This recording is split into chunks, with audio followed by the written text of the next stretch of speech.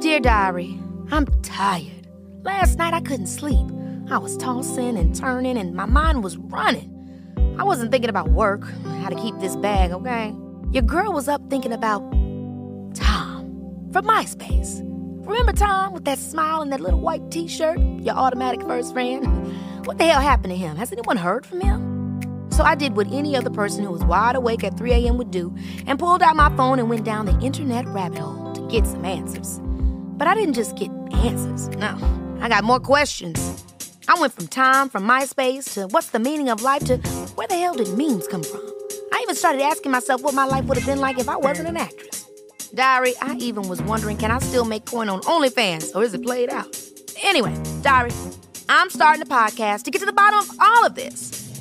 Baby, this is Keke Palmer. I, sorry to this man. I don't really, I've never seen that movie. And I'm not afraid to get down and dirty, figuratively and literally. So I dated someone, and I found out that someone that they dated was on OnlyFans. I wanted to see what mama was working with. She was very sexy. It was a bad decision for me.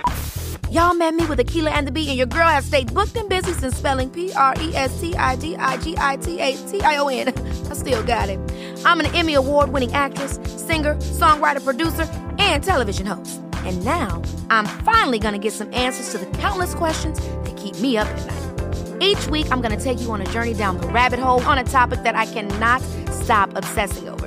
Okay, I'm gonna go deep, chatting with special guests, family, and friends.